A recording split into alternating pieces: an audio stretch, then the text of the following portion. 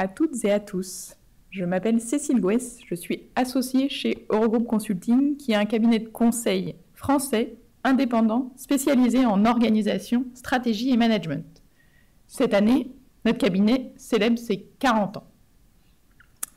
Alors parmi les nombreux sujets qui nous animent, j'ai le plaisir de travailler avec notre think tank qui réfléchit à l'avenir de la relation client, avec un prisme autour de la transformation, du métier, des pratiques, des organisations.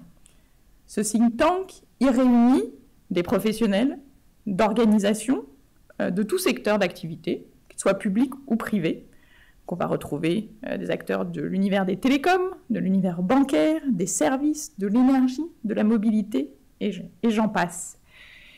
Notre think tank, il se nourrit d'interventions euh, et d'auditions d'experts, tant académiques que technologiques.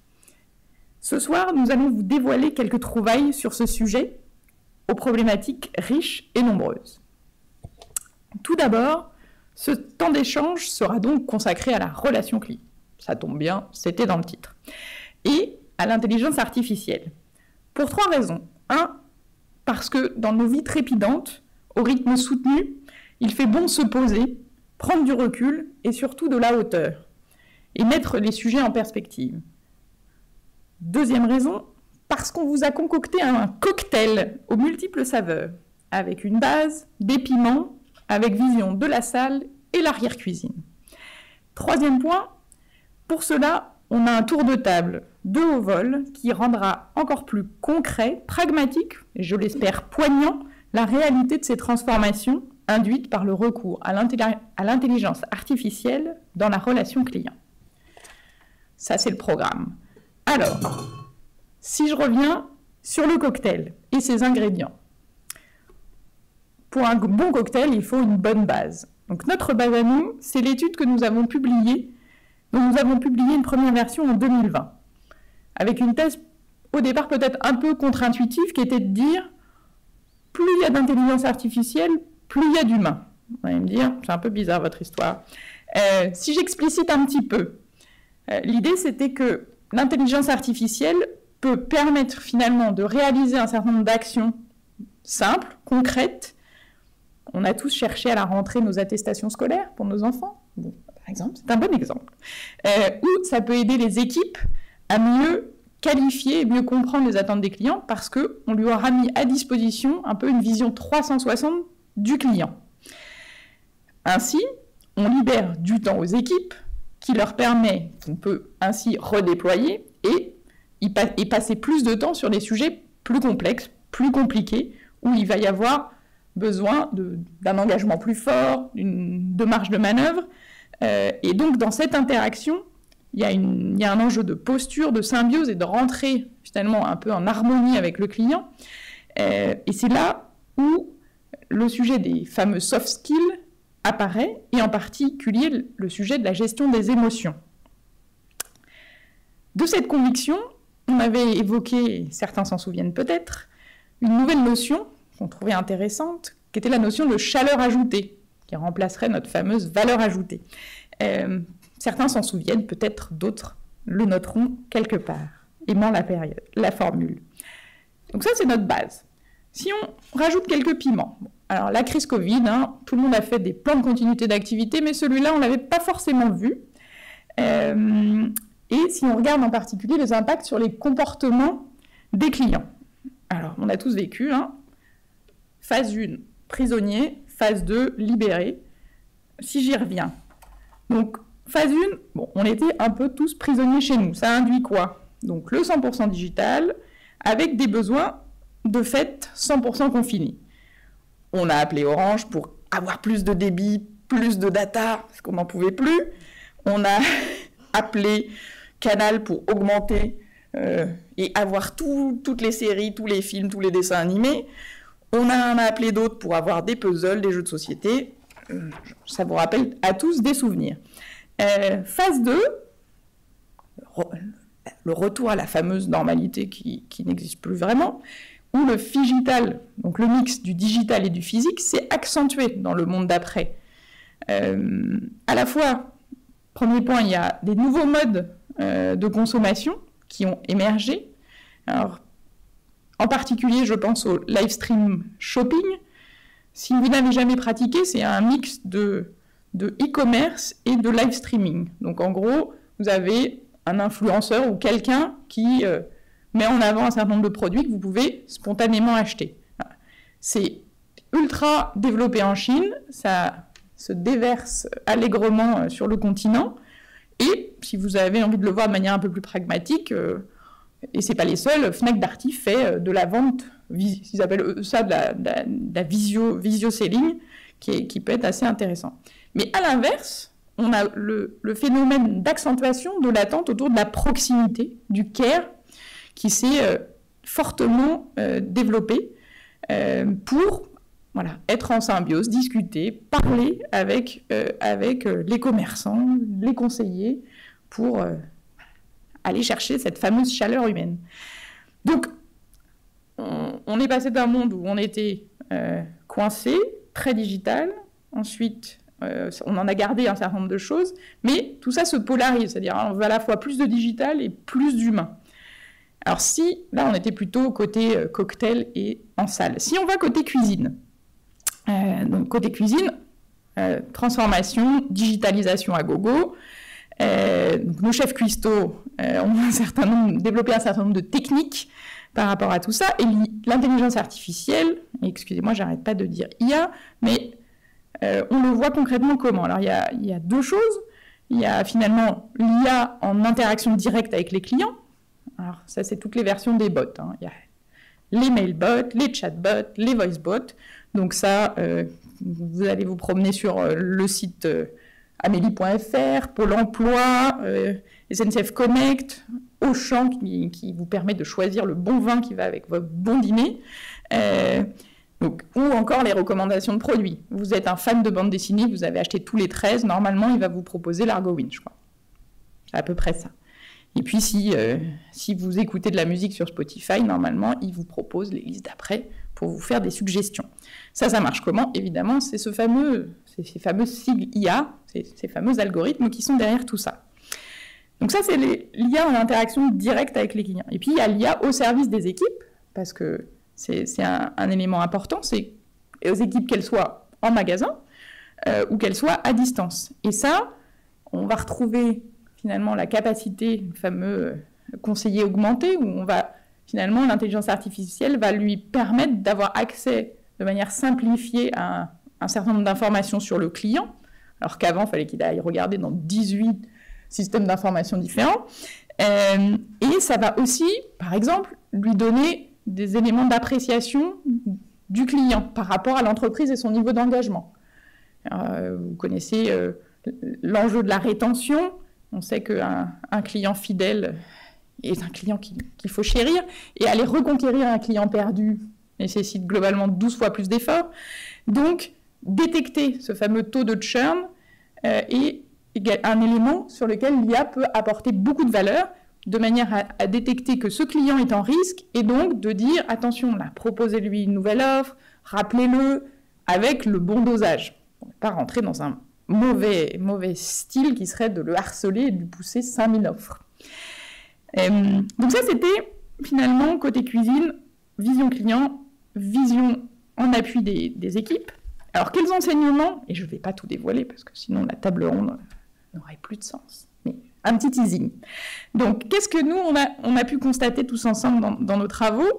Est-ce que la crise Covid, c'était un stop ou encore Finalement, je dirais, c'est plutôt on continue et on accélère. Et on verra ça avec notre table ronde qui nous raconteront comment ça s'est passé chez eux. Euh, d'autres points de vue intéressants, jusque-là, dans notre première étude, en vrai, on avait beaucoup parlé avec des chefs, les fameux managers. Là, on s'est dit que c'était intéressant d'avoir le pouls et avoir le feedback des équipes opérationnelles, d'une part, et puis des représentants des syndicats, d'autre part, pour comprendre comment eux ressentaient, vivaient, quelles étaient leurs opinions sur le sujet, et qu'est-ce que ça impliquait. Alors je vais faire un peu une réponse de Normand, est-ce que c'est une transformation comme une autre ou pas? Alors plutôt oui, c'est une transformation comme une autre dans le sens où évidemment, il faut donner du sens, évidemment, il faut accompagner les équipes, évidemment, il y a des impacts, il faut avoir bah, toute cette stratégie pour faire évoluer, accompagner, faire grandir les équipes, en particulier sur le sujet des compétences. Puis je vais vous dire plutôt non, parce que d'une certaine manière, l'IA, c'est un peu nouveau, on en parle beaucoup, ça fait quand même un peu peur, on se dit que ça va, ça va détruire X milliers d'emplois, euh, que ça va euh, chambouler beaucoup de choses, euh, qu'il va falloir qu'on développe des compétences qu'on n'avait peut-être pas, est-ce que les gens vont y arriver? Ça, ça, pose toutes ces, toutes ces questions autour de ces fameux soft skills, cette intelligence émotionnelle qu'on attend. Et puis de la marge de manœuvre aussi qu'on doit être en capacité de donner pour que bah, nos, équipes puissent répondre aux attentes plus complexes des clients. Euh, donc dans l'art de la synthèse du un peu oui, un peu non, euh, finalement, cette transformation, elle induit, euh, elle induit du mouvement, elle induit de l'émotion. Et ça, ce qui est intéressant, c'est que si on va à la racine du mot émotion, je suis plutôt helléniste que latiniste, alors, mais ça vient du mouvement. Donc, on est dans une logique où cette transformation, elle induit du mouvement, de l'émotion. Et là encore, il faut que il faut falloir accompagner les équipes et le rôle du manager, le fameux manager, il est clé et il doit être là et c'est vraiment ça qui, ressort fortement.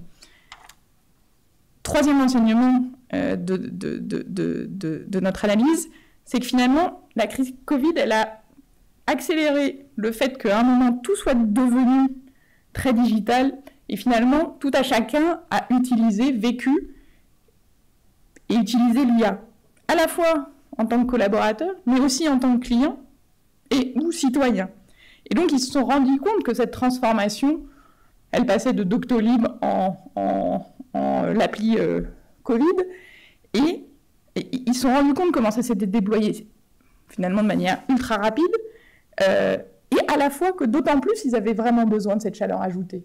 Donc, donc on peut, finalement, le collaborateur, la vision du collaborateur, elle est fortement influencée par sa vision en tant que citoyen et lui-même en tant que client. Euh, dernier point, notre table ronde que j'ai le plaisir d'introduire, on a euh, donc trois personnes qui vont nous rendre compte de la réalité de ce qu'elles ont vécu dans leurs organisations. Donc on a Canal Plus avec Marie-Laure Léger, directrice relations clients. Merci d'être là avec nous ce soir. Orange avec Céline Bouter, directrice de projets digitaux relations clients. Merci Céline. On a Majorel avec Claire Rose... Romosin, pardon, excuse-moi, directrice marketing et solutions. Merci également d'être avec nous. Et notre innombrable Magman, principal chez Eurogroup, qui va être notre modératrice. Un petit mot, Thierry qui fera la conclusion, sur l'INRC, qui est notre partenaire de ce think tank depuis, depuis un long moment. Euh, et donc, on a été très heureux de travailler ensemble sur, sur ce sujet, d'avoir apporté Eurogroup notre, euh, notre savoir de cabinet généraliste dans les missions autour des sujets de relations clients, parce que nous, on, est en nous, on travaille aujourd'hui sur des sujets de vision prospective. C'est quoi le marketing, la relation client en 2030 Comment on décline de manière concrète les promesses relationnelles euh, en signature? Et ça, on fait ça, par exemple, dans le transport. C'est quoi l'expérience client? C'est quoi les parcours clients de demain? Comment on capitalise sur les sujets de data en lien avec les sujets de CRM Comment on transforme les organisations en travaillant la culture client? Ça, c'est un clin d'œil pour Arnaud. On vous renverra le replay d'un beau webinaire. Et puis, évidemment, les sujets d'organisation, marketing, commercial et expérience client. Tout ça, sphère publique, sphère privée. À vous, mesdames. Merci pour votre écoute.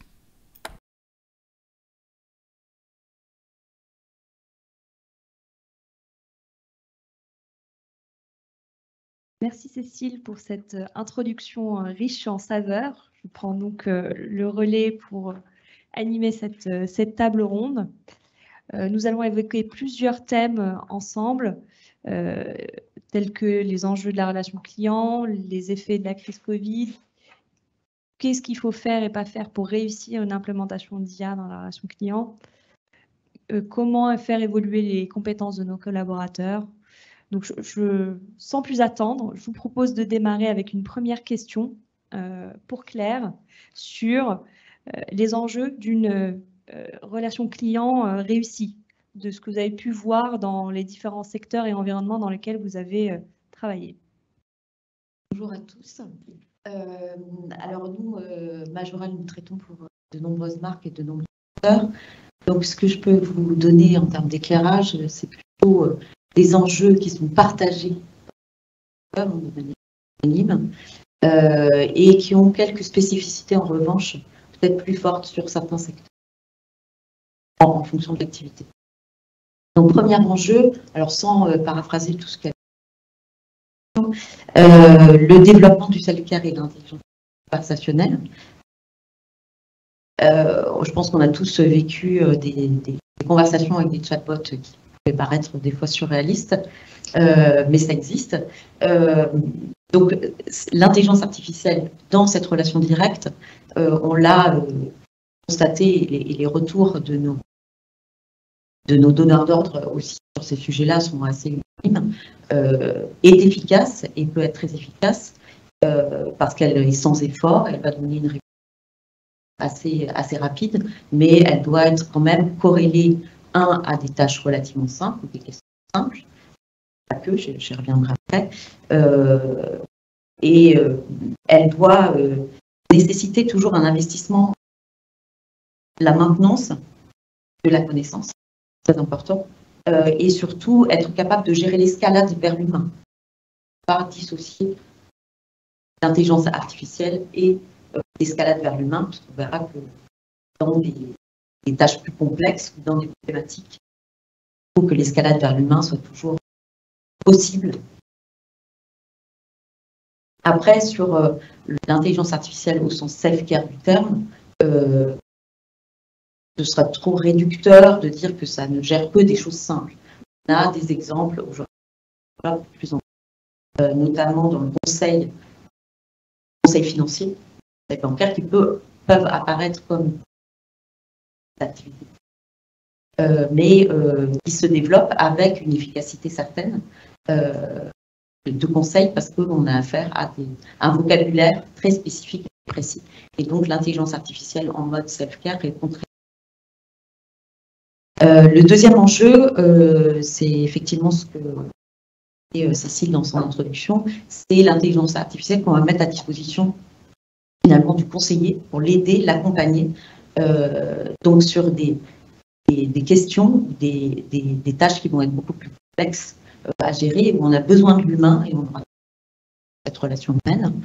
Euh, et dans ces traitements-là, on a beaucoup travaillé, notamment à Jorel, à mettre en place l'accompagnement avec de l'intelligence artificielle, pardon, euh, sous la forme de guides dans des exemples précis comme de la gestion de qui sont complexe euh, avec euh, les compétences nécessaires en termes de, de, connaissances des lire ça, par exemple, met en place des outils qui vont aider le puisque c'est comme une préoccupation forte chez Majorel, c'est aussi le bien-être des conseillers à leur, euh, à leur proposer un accompagnement des, des, conseillers. On a développé des outils et de l'intelligence artificielle qui permet d'avoir ce guide euh, et cette aide d'aide à la décision finalement euh, qui va aider.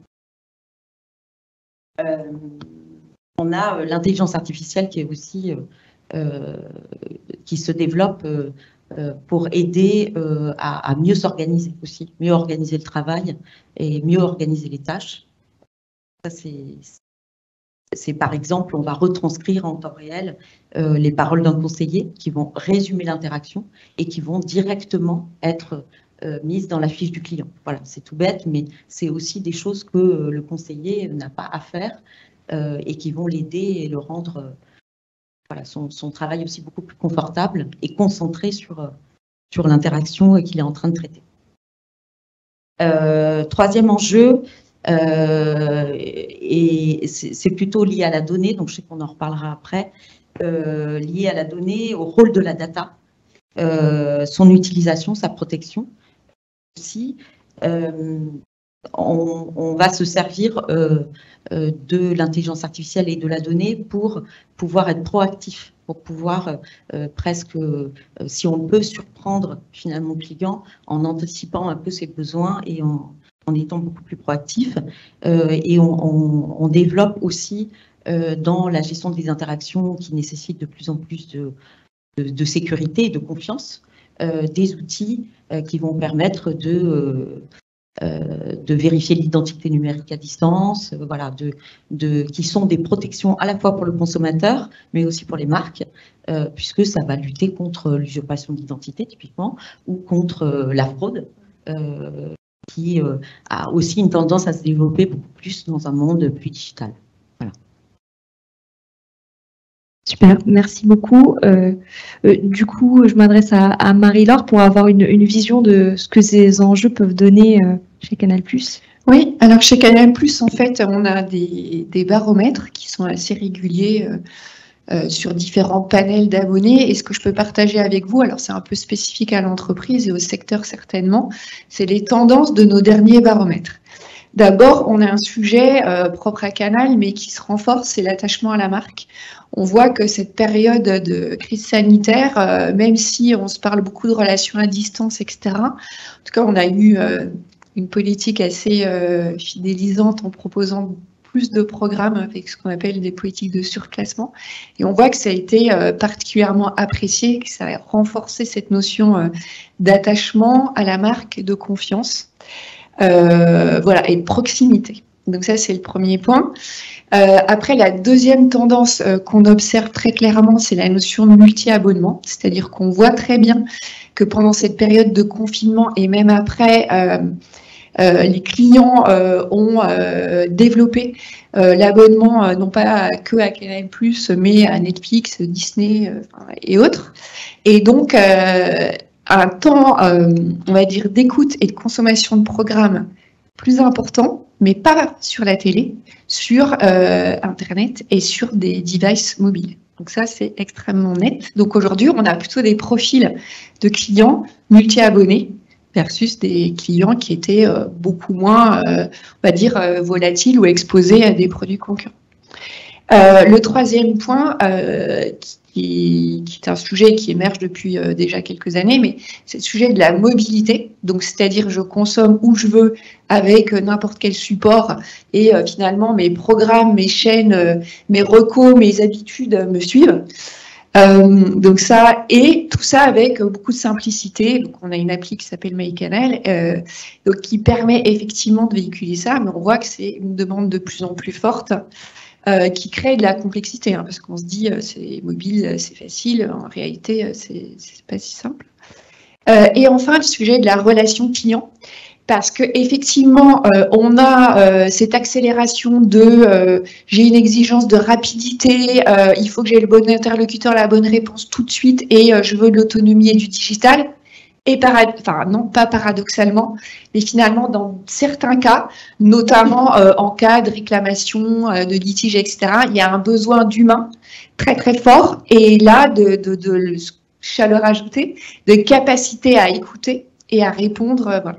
Donc ça, je dirais, c'est les tendances de fond qu'on a observées chez Canal et qui d'ailleurs sont probablement euh, commune à, d'autres marques. Et donc, ça, ça donne, euh, je vais dire, quatre enjeux majeurs qu'on décline chez Canal+, qui sont évidemment un enjeu, autour, un enjeu autour de la valeur de la marque. Donc, ça va passer par euh, la qualité de l'offre, des contenus, l'exigence sur la personnalisation, évidemment sur la transparence. Euh, voilà, donc des notions qui sont assez euh, importantes et, finalement qui ont un, périmètre hyper large. Euh, des, des, enjeux en termes euh, d'innovation euh, et de technologie, parce qu'on se disait tout à l'heure, il y a un gros sujet mobilité, donc ça veut dire que, un, on est capable de proposer nos produits sur l'ensemble des plateformes. Euh, avec euh, des devices très euh, divers. Hein. Ça peut aller de la PS5 en passant par la Box Revolution. Donc, c'est un panel quand même technique assez important. Et puis, euh, et puis après, on a ce sujet euh, multi-device, donc beaucoup de consos, ce qu'on appelle OTT over the top, via Internet, son téléphone, sa, sa, tablette. Donc voilà, c'est une capacité donc à développer des interfaces, des applis, etc., qui permettent tout ça. Et enfin, un dernier enjeu qui, qui, fait écho à ce que je disais tout à l'heure sur la relation client, qui est un enjeu de connaissance client et d'hyper-personnalisation. Et donc là, on retrouve effectivement l'enjeu de data. Donc, euh, c'est euh, les data euh, clients qu'on peut collectées euh, avec leur consentement évidemment, mais et euh, avec des données de CRM. On voit bien qu'aujourd'hui, il y a de plus en plus d'agilité dans euh, ce qu'on est capable de ressortir comme données de scoring, par exemple, ou comme capacité à aller regarder le comportement de certaines populations pour mieux comprendre comment tel client va se comporter par rapport à telle interaction. Euh, mais aussi, euh, je pense qu'on y reviendra, mais sur la capacité à proposer des outils. Euh, notamment chez Canal, on a développé tout ce qui est vidéo call et, vidéo assistance, et notamment sur des sujets techniques. Et on voit bien que là, on réconcilie finalement la relation à distance avec la relation humaine, parce qu'il y a une grosse, grosse proximité entre le conseiller qui va s'adresser à un client, qui va lui montrer euh, sa configuration ou ses installations et lui dire bah, ça marche pas, comment je fais et, euh, et là la résolution, c'est un peu euh, magique parce que on passe d'un système un peu itératif, il faudrait l'intervention d'un technicien ou que sais-je, à ah, ben, regardez monsieur, si vous faites ça, ça va marcher. Donc voilà, c'est un peu les points que je voulais partager avec vous. et tout ça, finalement, on a remarqué chez Canal que comme dans, plein d'environnements, on a quand même une poussée euh, très très très forte du consumérisme. Euh, c'est-à-dire euh, du regroupement, enfin j'entends consumérisme par regroupement en fait de, clients sur des actions groupes, des actions collectives, des choses comme ça, qui est un phénomène en fait assez assez puissant, euh, probablement aussi très entretenu par les réseaux sociaux et par le fait que finalement euh, le client a ce qu'on appelle une position de consommateur.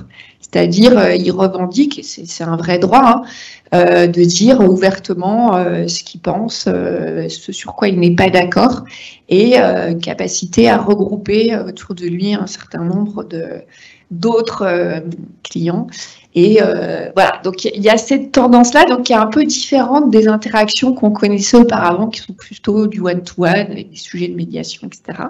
Donc c'est un peu différent.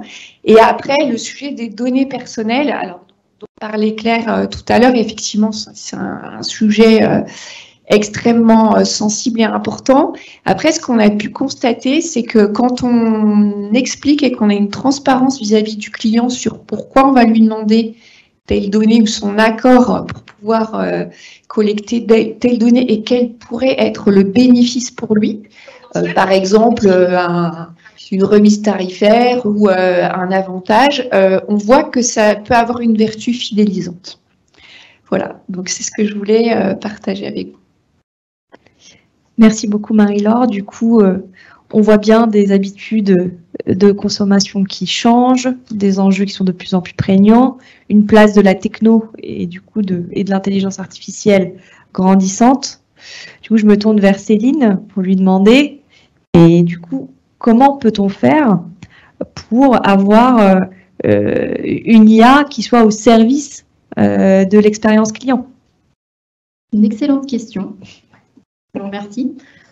Nous nous sommes posé la question euh, chez Orange sur ce sujet-là. Est-ce que je vais vous partager? En fait, c'est le fruit de nos réflexions, réflexions qui sont menées au niveau du groupe, qui se veulent le reflet de ce qui est déployé dans nos euh, sept pays en Afrique, sept pays en Europe et également en France, puisque euh, l'intelligence artificielle, et pas que l'intelligence artificielle, la data, parce que l'intelligence artificielle toute seule ne sert à rien, hein, la data. Euh, donc c'est cette expérience-là que je vais vous partager euh, aujourd'hui. Donc oui, première, euh, première chose à bien avoir en tête, c'est une combinaison en fait hein, qu'on va utiliser. La data, c'est quelque chose de magique. Avec la digitalisation de nos services, de nos opérations, on a un morceau de data, une mine d'or de data, tous dans nos entreprises, plus, euh, Majorel, euh, on a énormément d'informations de données sur euh, nos clients de différents types, à la fois de type personnel, à la fois contextuel, à la fois issus de nos d'utilisation de nos services. On peut même en acquérir à l'extérieur hein, auprès de partenaires ou de tiers qui vont nous les vendre. Donc on a toutes ces informations à disposition. La plus grosse difficulté, je dirais, maintenant, c'est de les utiliser. Trouver les bonnes, qu'elles soient de bonne qualité, et puis d'en tirer euh, de, la valeur. Et justement, l'intelligence artificielle, elle est là pour nous aider à faire ça avec euh, différents types d'outils. Et grâce à ça, on va pouvoir améliorer notre expérience client. Parce que oui, c'est un véritable game changer, cette intelligence artificielle combinée à la data. Ça ne change pas notre mission. Quand on travaille l'expérience client, on a des missions qui sont identiques.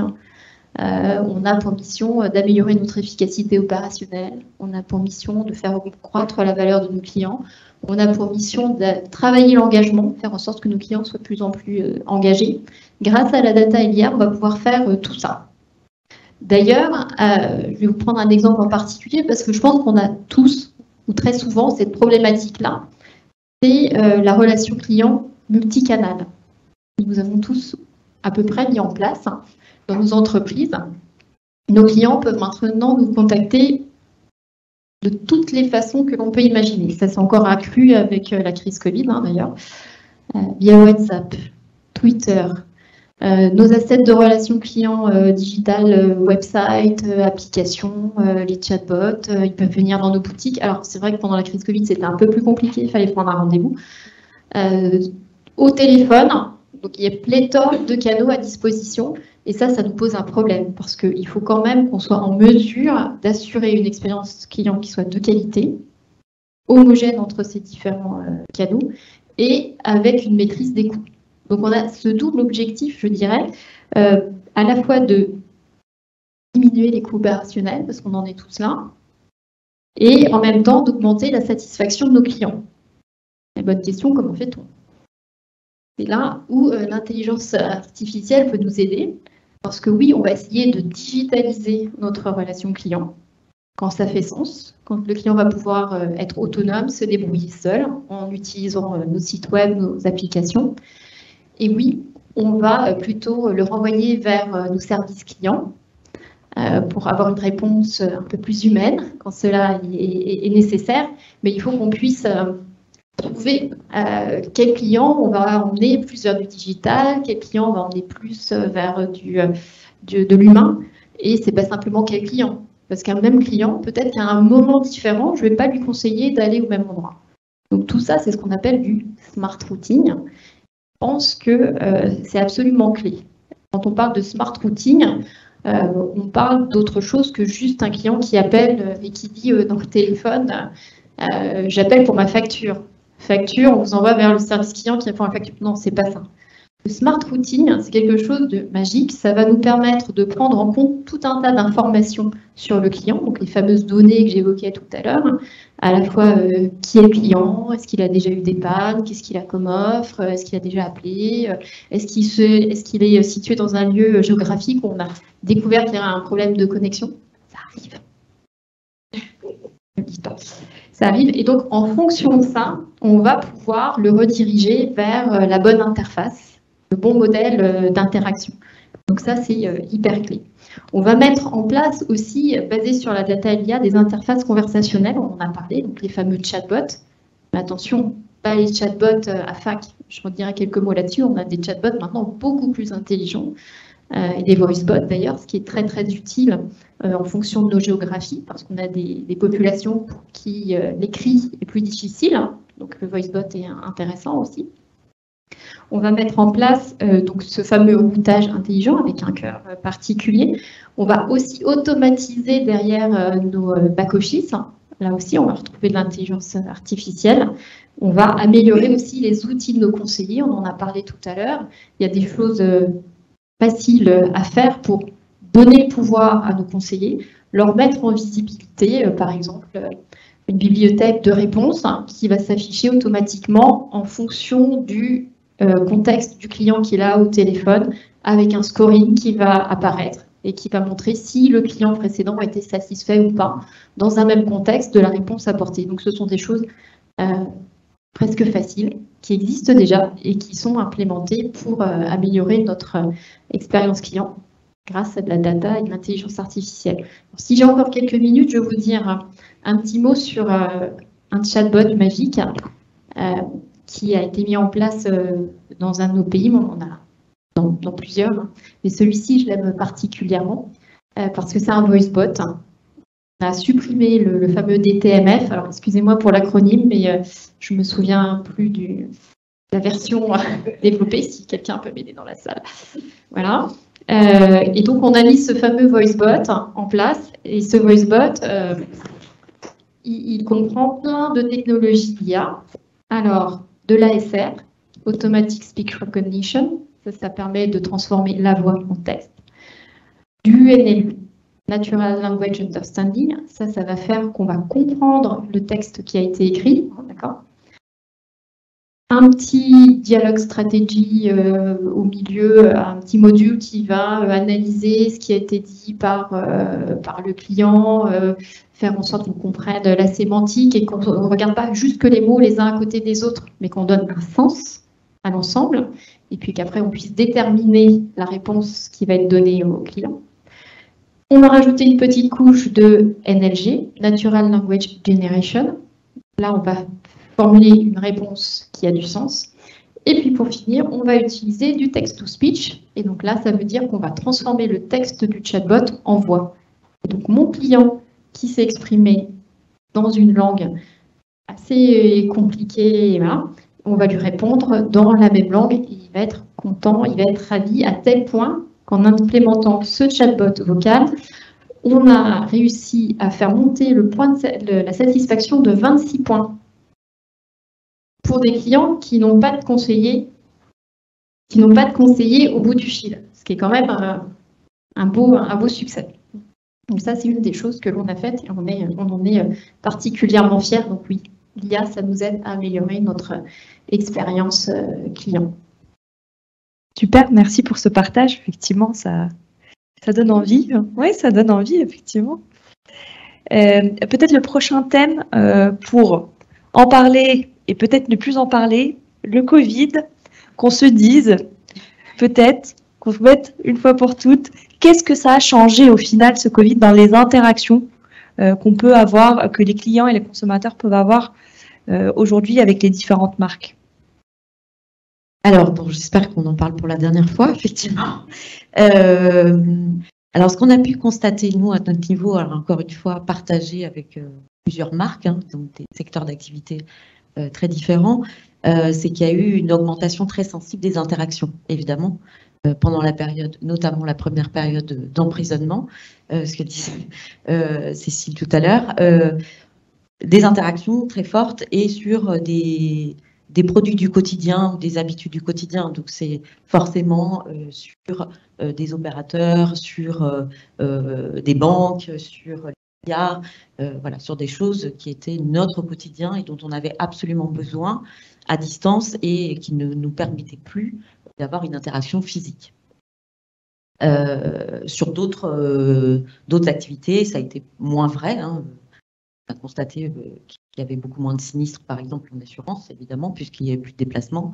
naturellement, on, on, avait aussi beaucoup moins de déménagements, donc beaucoup moins de sujets de déménagement à gérer, mais toutes ces interactions qui ont augmenté très fortement sur certains sujets, euh, il a fallu euh, y répondre, voilà, et y répondre euh, avec des, des, des conseillers, avec aussi de l'humain, parce que dans cette période-là, c'était aussi un, un, quelque part une sorte de réconfort hein, de pouvoir avoir euh, quelqu'un au téléphone. On en avait besoin. Voilà, on en avait fortement besoin. Donc, il a fallu répondre à ça. Euh, donc, répondre à ça, euh, c'est, ça a été aussi développer des solutions digitales et de l'intelligence artificielle pour permettre déjà aux conseillers de pouvoir travailler à distance et donc en télétravail. Donc, ça a été un sujet qui a accéléré quelque part les projets sur le digital qui a mis un, peu un coup d'accélérateur sur des choses qui étaient déjà un peu enclenchées, hein, mais qui a, permis d'aller peut-être plus vite. Euh, et puis, euh, dans la montée en compétences, hein, les accompagner euh, pour les aider à se former, à être toujours au niveau d'exigence attendu, hein, parce que en parallèle des interactions, le niveau d'exigence a aussi été extrêmement fort. Hein, à progresser en même temps. Euh, et donc, on a développé euh, euh, des outils bah, intégrant ces formes d'intelligence artificielle de formation comme des serious games, donc des choses qu'on retrouve plus dans le domaine du jeu hein, finalement, mais qui ont permis d'avoir une formation presque individualisée du conseiller pour à chaque fois ces réponses déterminer la suite du processus et la suite du jeu, et donc s'adapter automatiquement euh, à la montée en compétence de, chacun des conseillers sur des thématiques euh, très très différentes. Euh, et, ça, ce sont des innovations qui restent, qui, qui, sont pérennisées parce qu'elles sont pour le coup très efficaces, et donc elles vont rester dans le temps après, même après le Covid. Voilà, donc ça, c'était un, premier point, notamment au niveau de la montée en compétence des conseillers. Et puis côté client, euh, on en a parlé tout à l'heure, enfin Marie-Laure faisait euh, allusion à, la visio, au développement de la visio sur l'assistance technique. Donc effectivement, c'est des choses qu'on a développées euh, notamment pour Canal+, dans un contexte où le client très exigeant voulait absolument pouvoir faire marcher euh, sa, box Orange ou sa télé euh, et, sa box sur Canal+, et euh, n'avait absolument pas la possibilité de se déplacer physiquement. Et, pour trouver une solution, finalement, le client est devenu acteur de cette interaction. Donc, on, a pu voir aussi que ça, quelque part, changé les relations humaines dans, ces interactions-là, puisque le client acteur euh, avait la possibilité de montrer bah, sa, difficulté technique, euh, qu'on puisse y répondre rapidement, et, donc finalement développer une forme de, proximité euh, avec le conseiller pour essayer de s'entraider pour trouver une solution, au travers de, de, digital, comme la visio.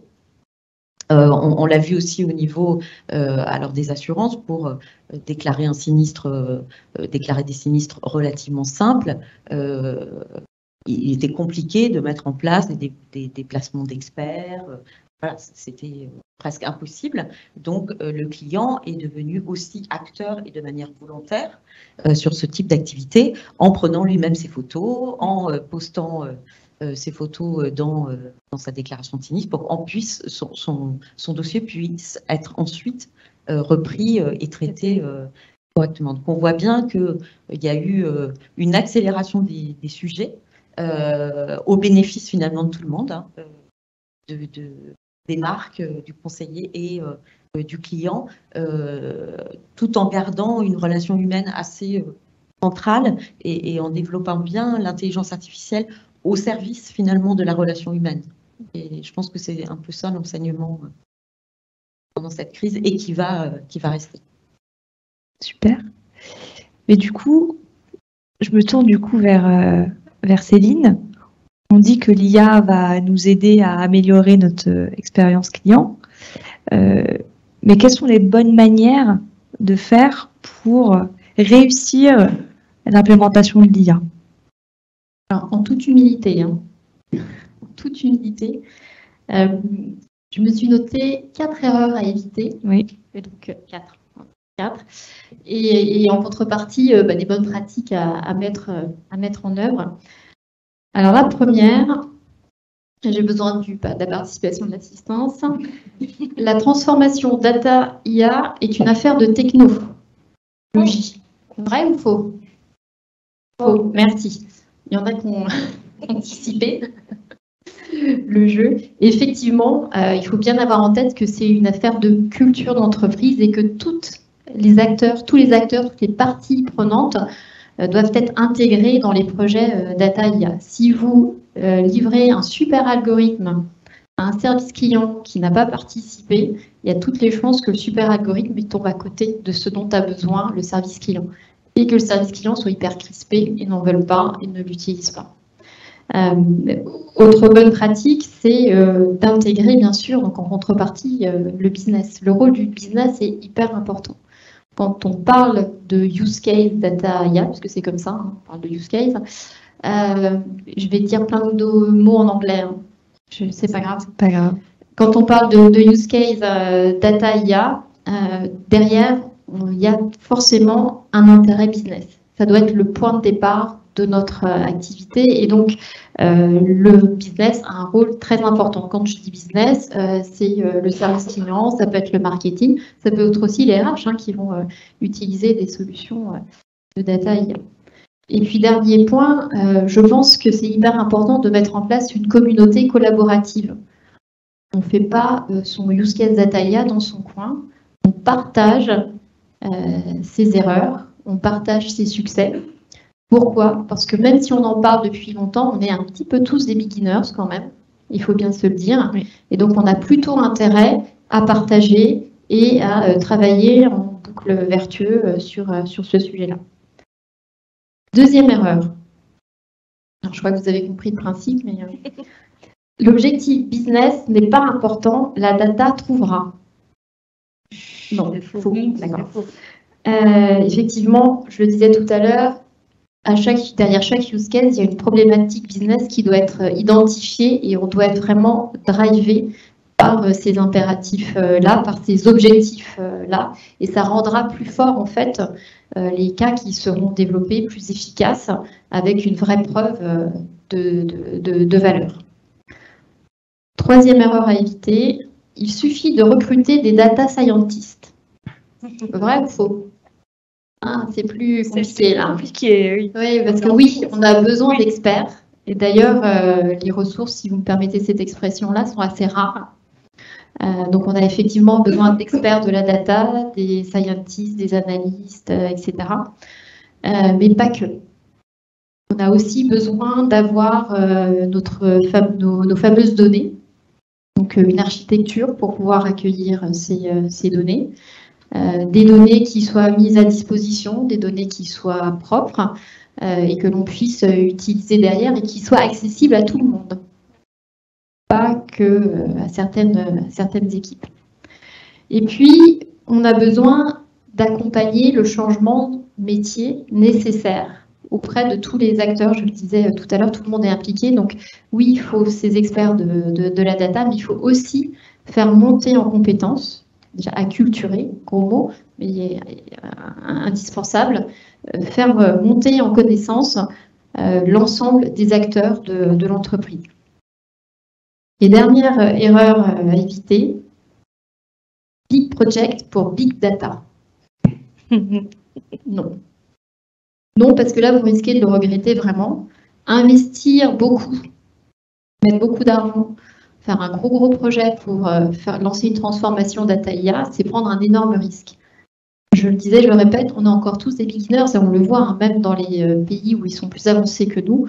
La progression, elle a été très euh, pas à pas. On est vraiment dans une dans l'itération et donc on commence petit et petit à petit, eh bien, on va aller chercher d'autres sujets, d'autres compétences et l'avantage de ça, c'est que ça va aussi permettre de délivrer rapidement de la valeur, très rapidement.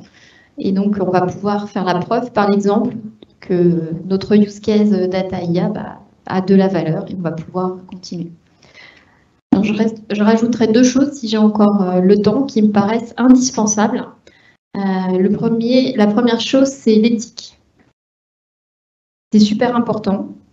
Euh, vous avez sûrement entendu euh, la prise de parole qu'avait faite notre euh, ex-président Stéphane Richard sur le sujet. C'était en décembre 2018, où il affirmait qu'Orange se positionnait très très fortement sur ce sujet-là, respect des données de ses clients. Et ça, c'est quelque chose qui est ancré dans notre activité sur l'intelligence artificielle très très fortement. Alors oui, effectivement, on a mis en place un conseil euh, de l'éthique avec euh, des membres extérieurs pour garantir euh, la partialité du, conseil. Oui, on a nommé des représentants de l'éthique dans toutes les divisions qui participent à, ces activités autour de la data et de l'intelligence artificielle. Oui, il y a des formations spécifiques qui sont faites et oui, on encourage nos, nos, collaborateurs à être éthique by design quand ils travaillent sur des modèles. Ça, c'est bien. Mais surtout, ce qui est clé, je pense, c'est un recrutement basé sur la diversité. Diversité de genre, diversité de géographie et diversité de métier. Diversité de genre, facile. diversité de géographie, parfois plus compliqué. Compliqué, Mais on y met un point d'honneur. Nous, on a des data squads qui sont en Côte d'Ivoire, on a des data squads qui sont en Jordanie, et on a euh, des, data, des, experts data dans euh, chacun de, nos pays sur euh, le périmètre Afrique, mais aussi en, Europe, qui sont issus des pays où nous sommes implantés. ça, je pense que c'est absolument clé de, de faire ça. Et on a aussi, je disais diversité métier, on a aussi des personnes qui euh, changent de métier, qui suivent des cursus de formation qui sont euh, proposés à l'intérieur de l'entreprise, des formations diplômantes pour accéder à ces métiers de la data. Et ce sont des gens qui viennent de métiers très très différents, service client, marketing, whatever ce que l'on veut. Donc ça permet d'avoir une richesse dans les profils qui travaillent sur les use cases et d'éviter les fameux biais ou stéréotypes que l'on a tous en tête. Et le dernier point, c'est le sujet de la, euh, de la transparence. Euh, Marie-Laure, tu en parlais tout à l'heure, c'est absolument clé. On ne peut pas euh, développer ou mettre en place des solutions d'intelligence artificielle sans la confiance de nos clients parce qu'on a besoin d'avoir leurs données et donc avec leur consentement. Et donc c'est pareil, on a un point d'honneur à respecter tout ce qui peut exister en termes de réglementation RGPD, etc. C'est vraiment quelque chose qui est absolument clé et fondamental. Dire au client quelles données on récupère, qu'est-ce qu'on va en faire, quels bénéfices il va pouvoir en tirer. Et effectivement, lorsqu'on est dans cette démarche-là, on a des clients qui disent oui. Parfois, il y en a qui disent non. bien sûr, mais euh, la plupart disent oui parce qu'ils comprennent ce à quoi ça va, ça va servir. Donc voilà, euh, transparence vis-à-vis du client, euh, faire en sorte que toutes les parties prenantes, tous les collaborateurs de l'entreprise soient intégrés dans euh, cette évolution. Je pense que c'est vraiment ça qui nous réussir, euh, qui permet de réussir un projet de transformation détaillé. Merci beaucoup. Euh, je m'adresse à Marie-Laure, du coup, pour les toutes dernières questions. Leur tourne donc juste en quelques mots. On a beaucoup parlé des collaborateurs et comment il fallait les accompagner dans cette transformation notamment d'un point de vue de leurs compétences. Qu'est-ce qu'on peut en dire aujourd'hui justement sur cette évolution de compétences? Qu'est-ce que vous avez pu voir chez Canal? Alors peut-être juste pour euh, rebondir sur le, propos de Céline, effectivement sur euh, l'apport de l'IA, euh, on a implémenté un certain nombre de, solutions chez Canal, que ce soit du voice analytics, des systèmes de recommandation, de pool d'infos, etc. Et on, voit que finalement, effectivement, ça, optimise euh, la valeur, euh, le fameux euh, conseiller augmenté. et puis, surtout, ça crée des, des inside business qui permettent de d'optimiser des performances, de générer de la valeur là où on ne pensait pas en avoir, etc. Donc ça, oui, c'est vraiment un point qu'on observe. Après, je reviens toujours sur mon, mon fameux parallèle euh, IA euh, humain, euh, on voit bien que perdure, bien qu'on ait développé tous ces outils qui sont très utiles et très performants, un besoin d'interaction, notamment quand c'est complexe, notamment quand c'est conflictuel, notamment quand il y a de la négo et que ça va générer en fait une intelligence humaine sociale. Donc ça, on en a un peu parlé. Après, en ce qui concerne le, le manager, on voit bien, alors même si c'est euh, un contexte d'entreprise qui est porté par le top management, on voit bien qu'il y a quand même un twist euh, à avoir sur la, culture managériale. Alors, c'est pas magique non plus, hein, euh, c'est un peu un change, comme on dit, qui s'effectue progressivement. Mais en tout cas, ça demande de se réinventer un peu et d'acquérir des nouvelles compétences euh, pour pouvoir collaborer et faire collaborer ces équipes avec euh, l'intelligence artificielle, pardon, et ce que j'appelle un peu la collaboration euh, homme-machine, qui est un peu, un peu crûment dit, mais voilà. Et si on veut être assez schématique, moi je vois trois points, quatre points pardon, sur les compétences à développer. La première, c'est sur la capacité, je, crois que c'est Céline qui le disait tout à l'heure, à problématiser clairement des questions. On était plutôt habitué à résoudre des problèmes. Euh, là, l'idée, ça va être de problématiser pour savoir en quoi l'IA et la data va pouvoir nous aider, nous proposer des solutions et ensuite euh, choisir les solutions d'automatisation ou, euh, ou autres. Ça, c'est le premier point. Euh, le deuxième point qui me semble essentiel, euh, c'est la culture de la donnée. On voit qu'aujourd'hui, la donnée est partout.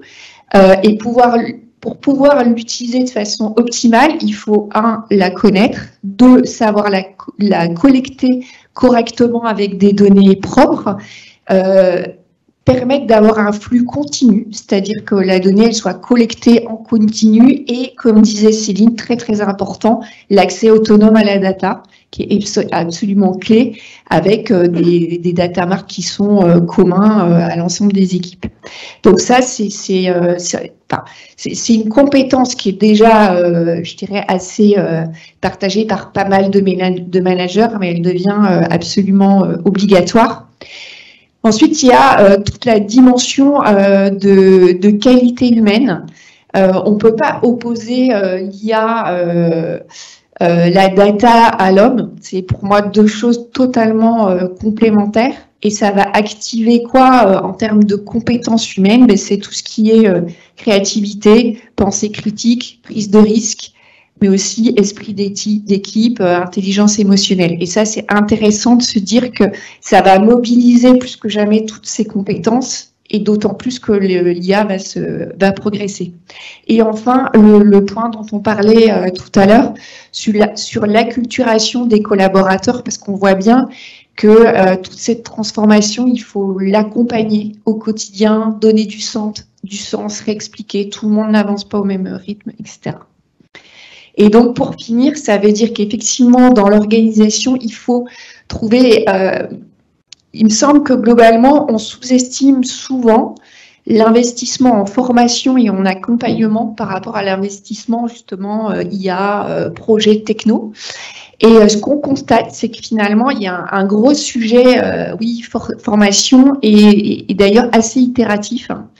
C'est-à-dire que souvent, il faut y revenir plusieurs fois. Et donc, il y a une histoire de curseur à trouver entre euh, ben, justement les changements d'organisation et toutes les adaptations en termes de, formation. Et pour terminer, je vais hyper vite, promis. Euh, je voulais juste vous partager une, une expérience qu'on a fait chez Canal où en fait on a un laboratoire d'expérimentation qui, euh, qui comporte à peu près une cinquantaine de personnes. Et ce qui est assez intéressant dans cette expérience-là, c'est que il y a deux aspects. C'est un aspect de transformation de métier, puisqu'au départ, c'est des conseillers de clientèle à qui euh, on a euh, qu'on a finalement fait évoluer vers des, des fonctions de chargé d'expérimentation. Et donc, on les a formés, euh, accompagnés euh, pendant, euh, pendant pratiquement deux ans. Et aujourd'hui, les résultats, c'est qu'on a une force de frappe très agile et très réactive qui est complètement liée. Alors, on a capitalisé, ce qui est intéressant, c'est sur le fait que évidemment il y avait une connaissance top de la relation client et un lien avec le client constant qui donne un certain nombre d'informations euh, très précieuses et donc on a capitalisé sur ces compétences pour euh, développer euh, toutes les, compétences liées à l'innovation, l'expérimentation, les tests, etc.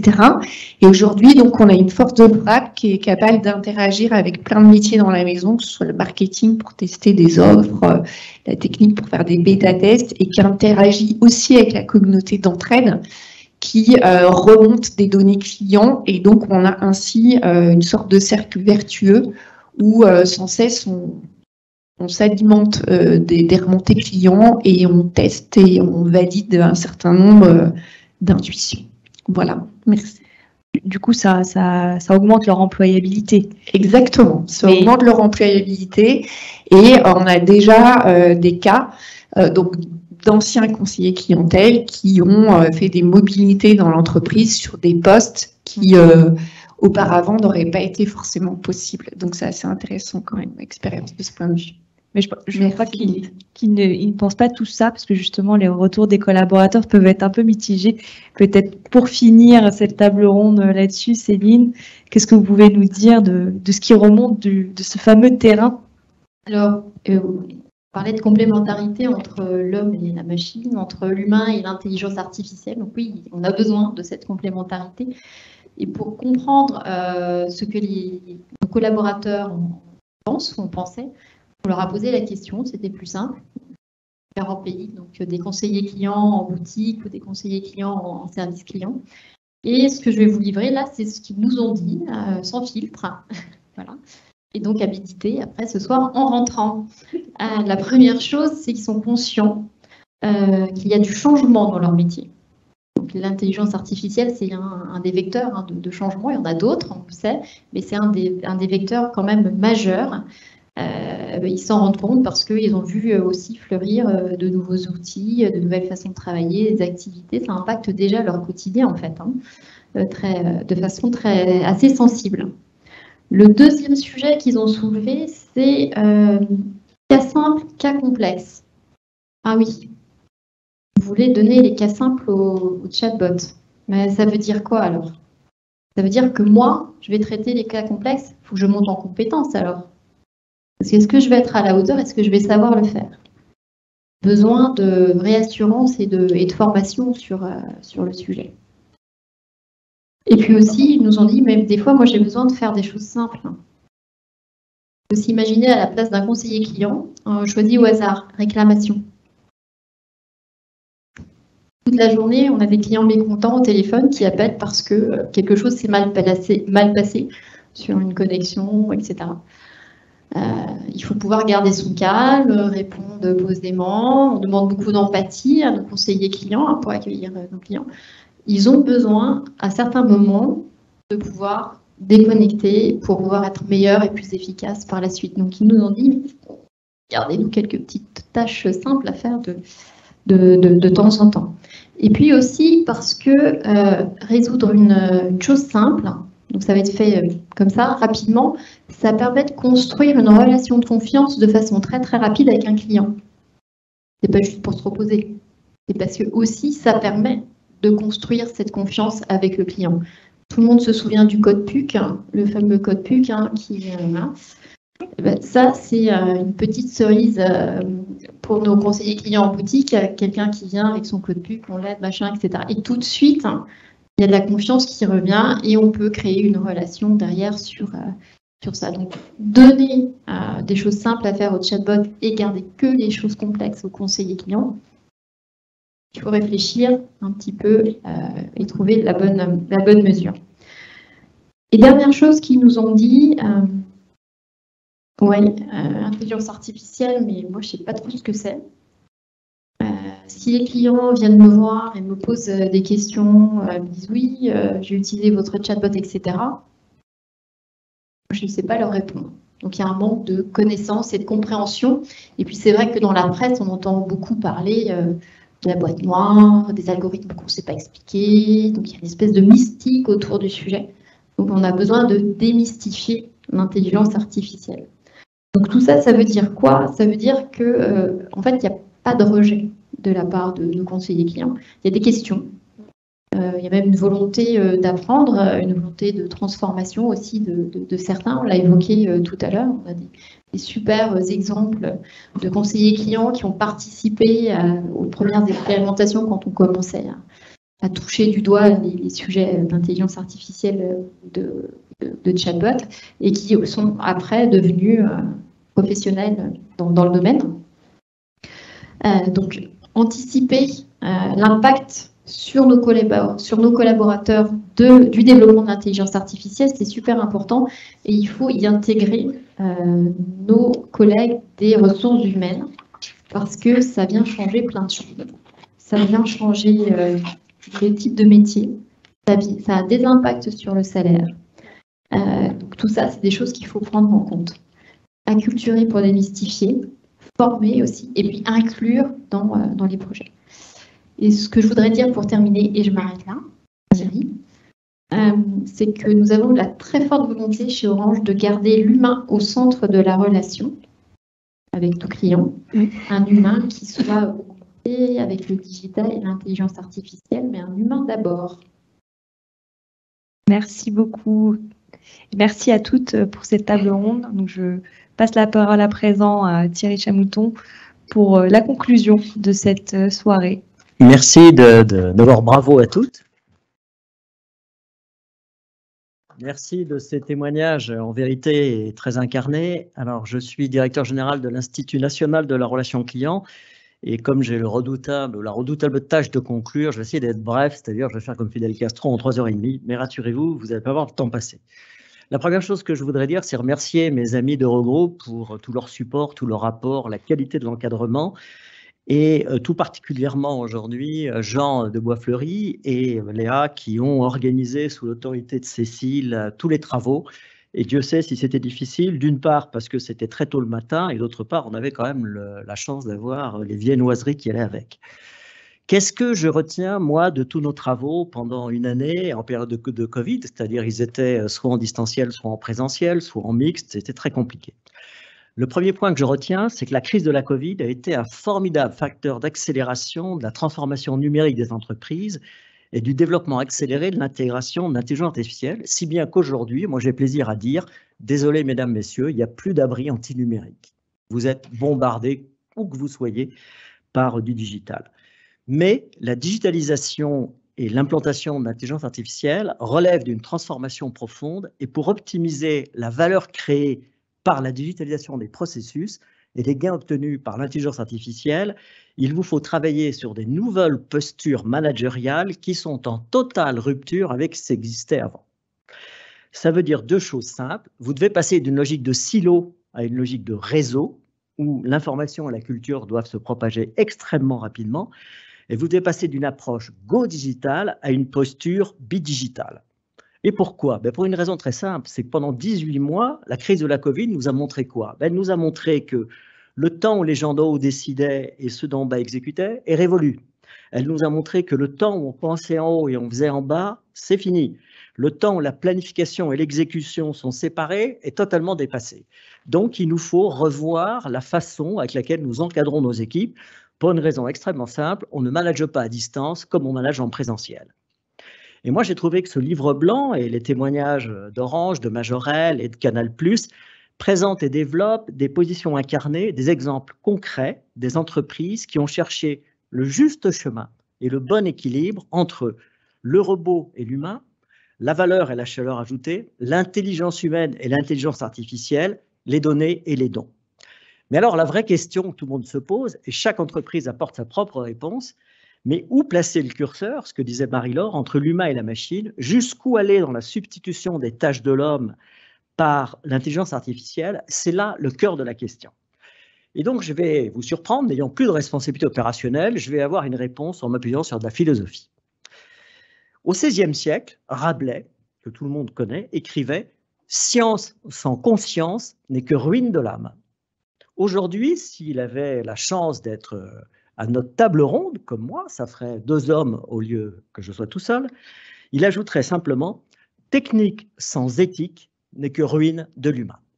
Voilà, je vous remercie, je vous souhaite une bonne soirée et j'espère que vous aurez plaisir à, lire, à lire le livre commun que nous avons fait avec Eurogroupe, à qui je vais lancer un petit clin d'œil. Je pense qu'il nous a ouvert le champ des possibles sur les nouvelles postures managériales de coopération et de collaboration. Ça pourrait faire l'objet d'un tome 3 ou d'un tome 4. Merci.